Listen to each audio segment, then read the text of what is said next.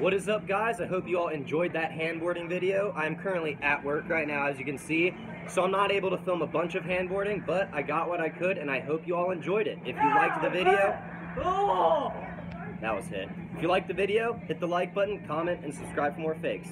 Peel the hole.